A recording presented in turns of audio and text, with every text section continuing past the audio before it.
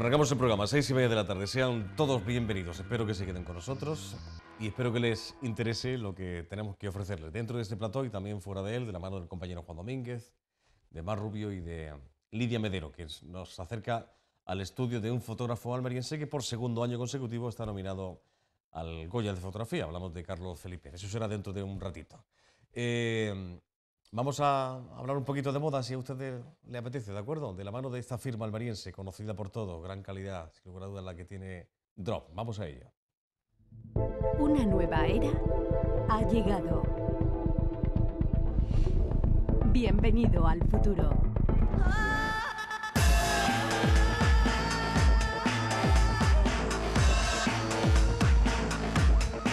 Las mejores firmas en moda y todas nuestras tiendas a un solo clic.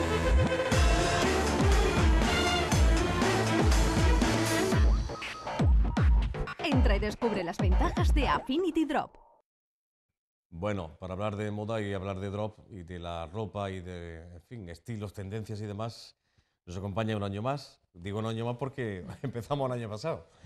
Y esperemos que, si es posible, que estemos todo el año, hasta que llegue de nuevo la Nochebuena, Nochevieja del próximo, o sea, de este año 2011. Miriam Martínez, estilista de Drop, bienvenida. Hola, muy buenas, buenas tardes, tardes. Feliz año, mujer. Igualmente. ¿Cómo ha ido la fiesta y este tipo Muy de bien, cosas? muy tranquila, ¿Y los de bien. Oriente se portaron bien con Miriam? Genial. ¿Sí? Genial, sí.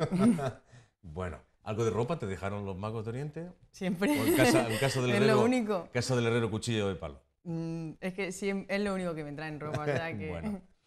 Eh, ¿qué nos- con- ¿Por dónde empezamos? Pues ¿Qué es mira, la, hoy la te primera traigo cita que tenemos? ¿Qué sí, contamos? una, una firma inglesa que se llama, bueno, es, solo línea femenina de momento Sí. y es la marca 2812. Eh, está hecha por dos hermanas británicas, Sienna y Savannah Miller. Conocidas. As- Sí, Sienna sobre todo porque es actriz y está saliendo con, con Jude Law, que es, eh, es el, el actor eh, británico por excelencia, que no Un sé... chaval atractivo, ¿no? Bueno. y, y nada, y, Bueno. y nada, eh, la, la- eh, la firma tiene el nombre de 2812 porque es la fecha de nacimiento de, de una de ellas, de Siena en concreto, que nació el 28 de diciembre.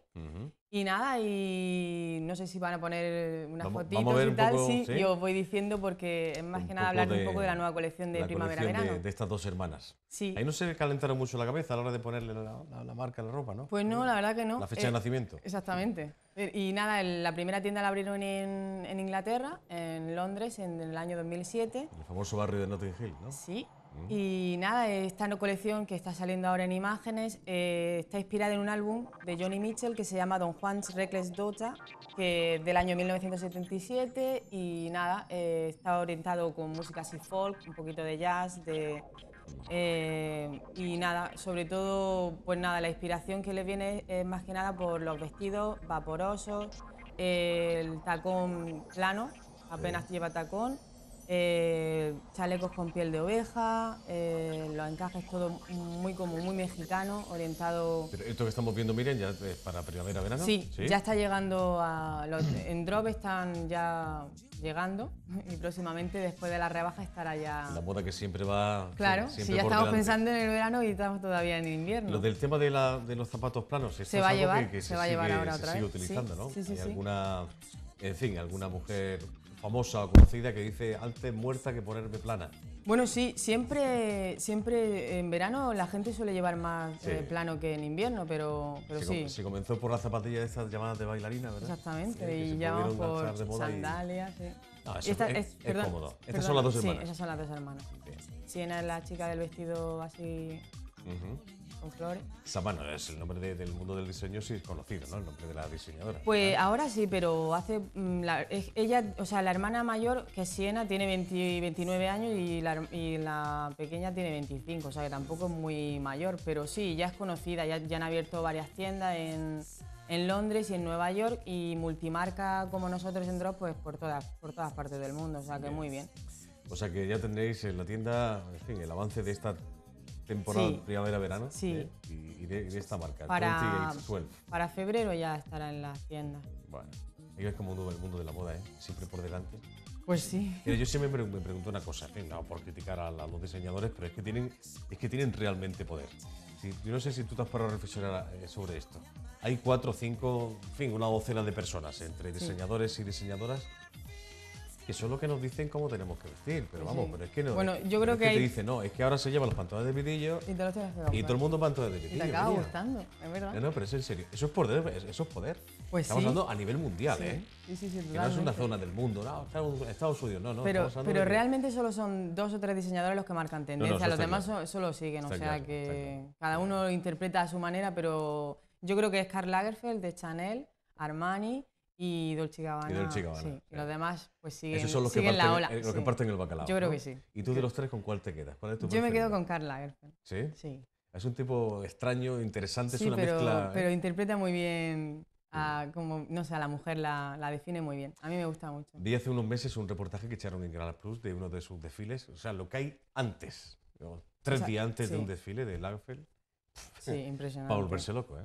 Es que yo creo que los desfiles impresionan más que las propias Hay que ropas tener porque una paciencia increíble, Sí, ¿eh? Porque es que era, era, la, gente apenas dormía, ¿no? Eh, Claro. Retocando, o sea, el faltaban, estre- es demasiado, sí, es muy estricto horas y todavía mismo. estaban dando el último pespunte a- al vestido, que, que tiene que salir en un par de horas a la pasarela, Sí. ¿no? En fin, apasionante mundo este, el de la moda.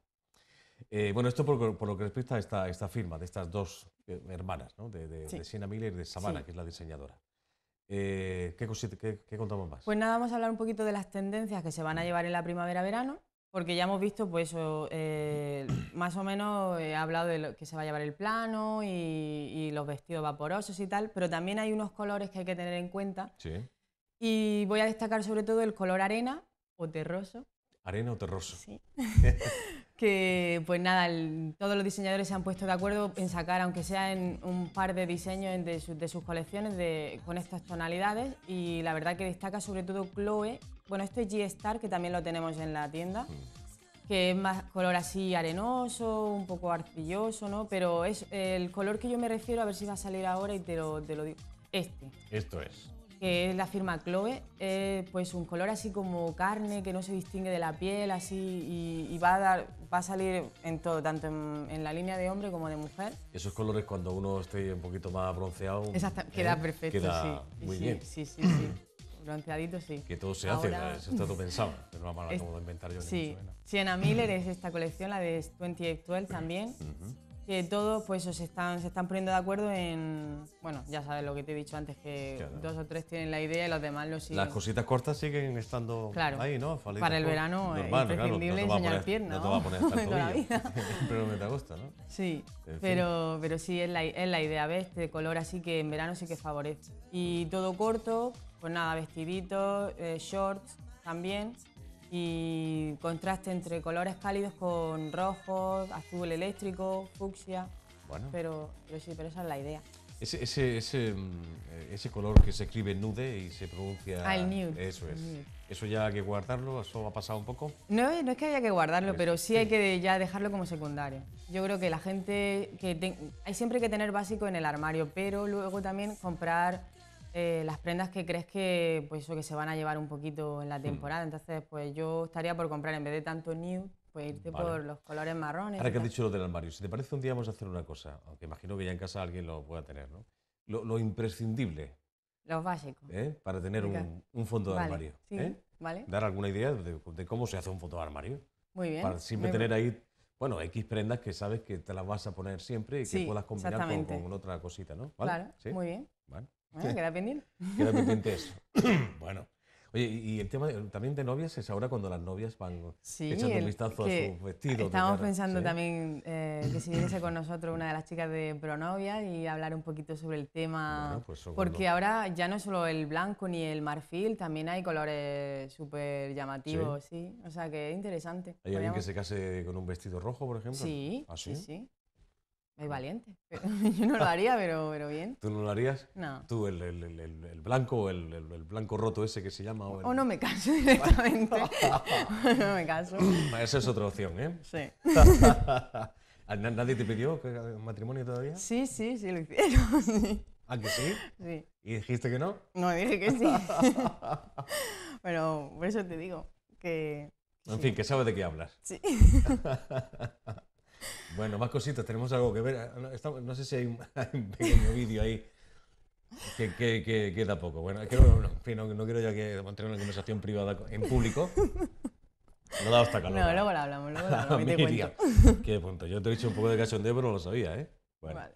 El tema de la década de, la década de los 70, Sí, con sus, con sus cuellos y sus pantalones. sí, o sea, hablando de Karl Lagerfeld te iba, te iba a comentar, si de está la, el vídeo listo, la campana lo hablamos, sí. Vuelve de nuevo el pantalón Pues de eso, que vuelve en los 70 y también los 60-70, ¿no? Esa época de transición. Pero esto de, de qué forma, ¿De qué tipo de ropa. Pues de la mano de Karl Lagerfeld, que tuvo la genial idea de, de hacer la colección crucero eh, de la primavera-verano del 2011 en Saint-Tropez, en Francia. Sí. Y nada, pues hay un espectáculo en medio del puerto y si tenemos el vídeo y lo podemos ver sería genial. Si no, ya te lo comento para la semana que viene y ya, ¿no?